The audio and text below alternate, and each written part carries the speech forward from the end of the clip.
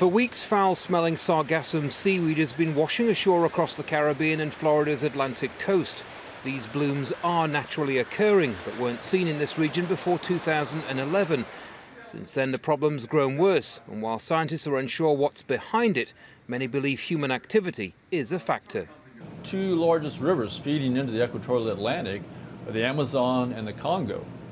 And of course, there's been a huge amount of deforestation in those two watersheds. And of course, again, you cut down the forest, that's going to release a lot more of this, this nutrient pollution again.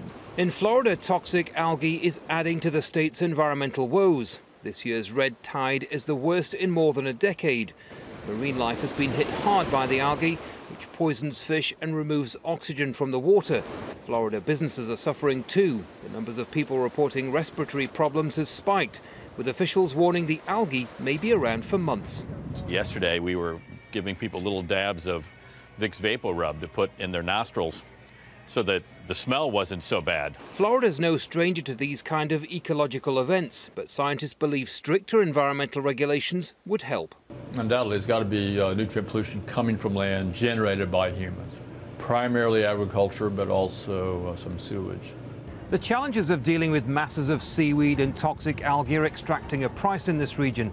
It's now more than just an inconvenience and more of a long-term environmental problem that could have serious consequences. Scientists say if authorities don't deal with it now, it'll only get worse in years to come. Andy Gallacher, Al Jazeera, Miami, Florida.